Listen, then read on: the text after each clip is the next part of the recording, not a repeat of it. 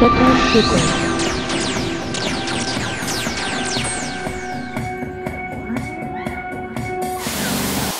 So, without further ado, we have Moni and Sabrina from Machina Candea.